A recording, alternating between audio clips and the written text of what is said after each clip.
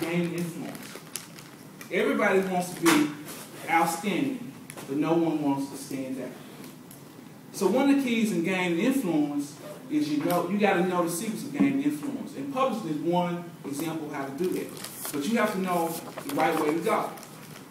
And it reminds me of a story. There was a lady named Mildred. Mildred was at a church. She was a church gossip. Gossip. Anybody know anybody who gossips? She was the she was the world's greatest gossip. And she thought the world, the church revolved around her. And all the members, like in some Baptist churches, other churches, they were scared of her.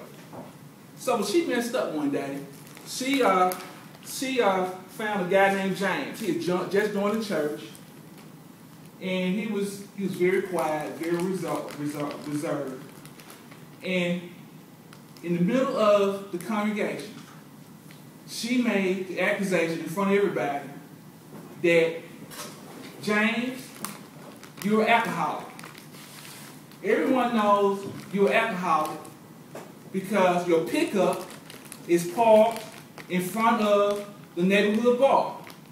And everyone knows what goes on in the bar. James looked at her for a minute, stared at her, quietly walked away.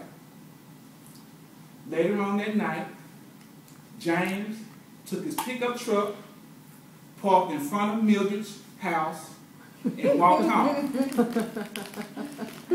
Everyone knows what goes inside of the house. So what I'm saying is, in gaining influence, you got to know where to look at all times. So now, what I'm going to try to do is I'm going to give you everything you need to know so that you guys can gain influence. And one of the things about, even though America's known, right now is known as we don't like reading, we still have a fascination with art and with writers. I'm going to share the secret with you. In, 19, in 1998, 1997, I was sitting in the classroom just like, like you. I was at Tusculum College working on my working on my master's degree. So I was, as you would do, I was reading this book, and I told my wife, you know what? I can write that. I can write a book. She said, yeah. She laughed at me. Yeah, you could. I wrote the book in two months, and it was published in, in less than a year. The book was My Cup Runneth Over. Now something something happened with me writing that book. My life changed.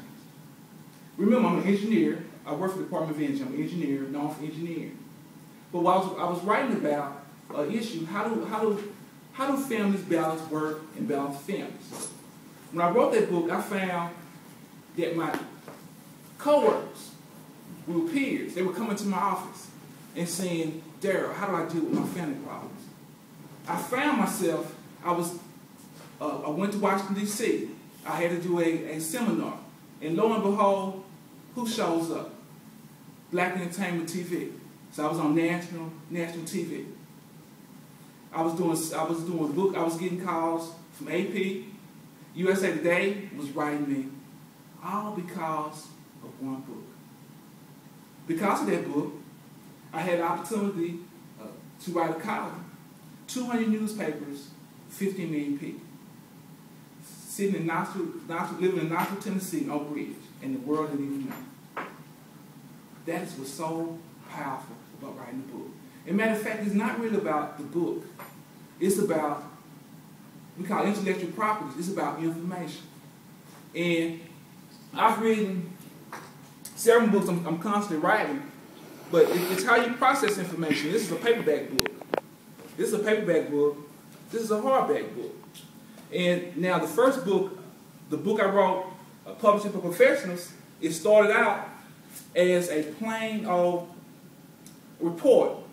And my mom we, she was uh, at my house one day. She said, she said, what are you doing? I said, well, I'm, uh, I was hole punching reports.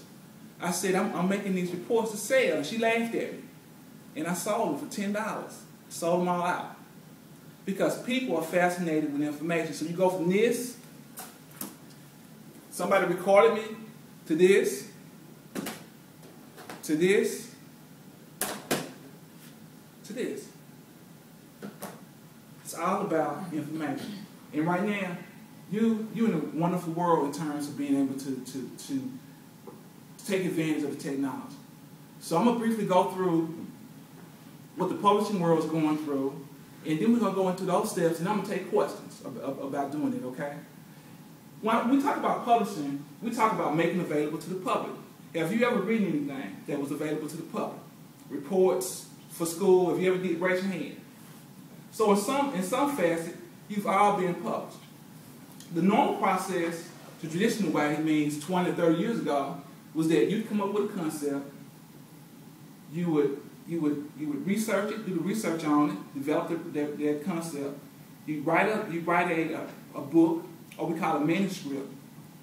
You would find a literary agent who would be your broker to a publisher. You would find a publisher uh, who would who would say, you know what, that that's a wonderful thing to have. I want you. You sign the contract. They send you your royalties, and you're on over. Sounds easy, but in the real world, it's, it's very different. Uh, in talking about the publishing world, uh, the publishing is a business. You know, I write all the time. I have my Department of Energy job. Because only one out of six writers can do it full time. I mean, uh, publishers are operating on what we call the uh, 2080 rule. Anybody know about the 2080 rule? What's the 2080 rule? Come on. Yeah, I had my class. Come on now.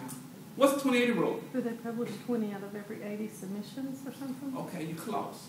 Means that 20% of the uh, 20% of the books are provi- providing 80% of the revenue.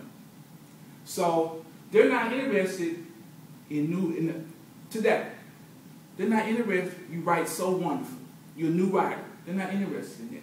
They're interested in Dennis Rodman or what T.O. has to say, or Lady Gaga, because they have a following.